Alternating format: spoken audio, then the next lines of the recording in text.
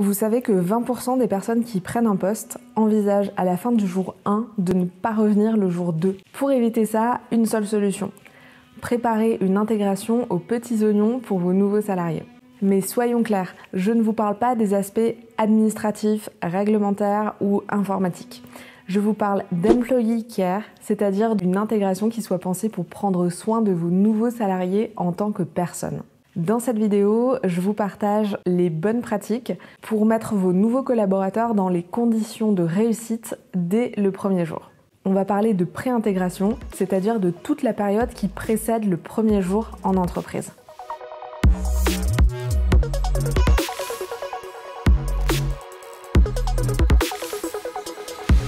Allez, on rentre tout de suite dans le vif du sujet avec la première étape de la préintégration, celle qui commence dès qu'on a validé l'embauche. À ce stade-là, votre candidat, futur salarié, il vient de démissionner de chez son employeur actuel. Il a eu une conversation peut-être difficile avec ses RH et il commence réellement sa transition professionnelle.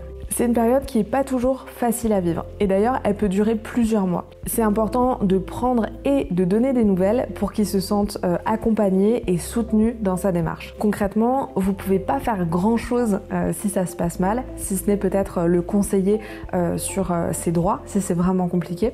Mais au moins, vous êtes là et vous montrez que vous vous en préoccupez.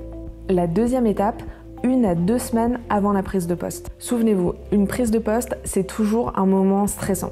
Un nouvel environnement de travail, de nouveaux collègues, de nouveaux outils, de nouveaux objectifs. Je vous invite donc à euh, aider votre nouveau collègue à déstresser. Comment? Eh bien simplement en lui donnant un maximum d'informations pour réduire les surprises, les incertitudes et donc les sources de stress possible. Concrètement, je vous propose de le contacter une ou deux semaines avant sa prise de poste pour lui donner des informations pratiques.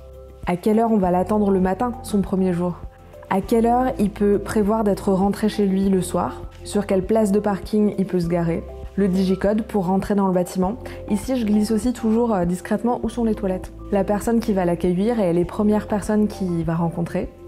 On peut aussi lui transmettre le programme de sa première journée lui dire euh, avec qui il va déjeuner et euh, concrètement c'est l'occasion de vérifier si euh, le resto que vous avez prévu est compatible avec son régime alimentaire parce que croyez-moi vous n'avez pas envie d'être cette personne qui propose un resto traditionnel à un vegan ou une pizzeria à un allergique au gluten.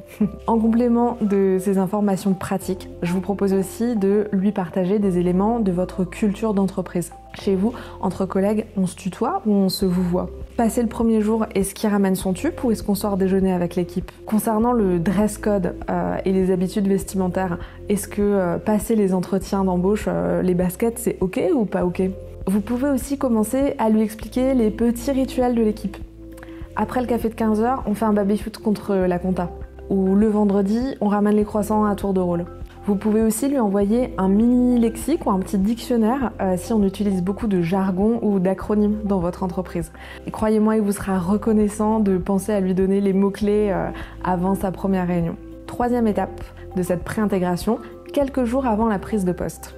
Rebouclez bien le process avec les différentes personnes qui vont intervenir au cours de l'onboarding histoire d'être sûr que personne n'a posé des congés en dernière minute euh, ou n'est absent. Ça serait dommage que votre nouveau salarié se retrouve tout seul euh, sans savoir vers qui se tourner. Le cas échéant, il est encore temps d'organiser un backup. À ce stade-là, euh, vous prévenez aussi toute l'entreprise que vous accueillez un nouveau collègue. Vous pouvez présenter brièvement la personne. Moi, j'aime bien donner des petites informations qui pourront servir d'icebreaker à la machine à café. Ah, j'ai vu dans le mail que tu fais de l'escalade. Tu vas dans quelle salle? Autre tips, je demande aux nouvelles recrues d'envoyer une photo d'eux pour le trombinoscope de l'entreprise et je précise pas forcément une photo très formelle, en fait ça peut être n'importe quelle photo de toi qui te plaît. Voilà, désormais tout est prêt pour que le premier jour de votre nouveau salarié soit un succès et pour qu'il ou elle se sente attendu et accueilli dans l'entreprise avant même d'avoir poussé la porte d'entrée. J'espère vous avoir donné des idées euh, et vous avoir montré comment concrètement vous pouvez euh, prouver à vos nouveaux salariés que vous vous souciez d'eux bien avant le premier jour pour aller un petit peu plus loin euh, que la checklist administrative.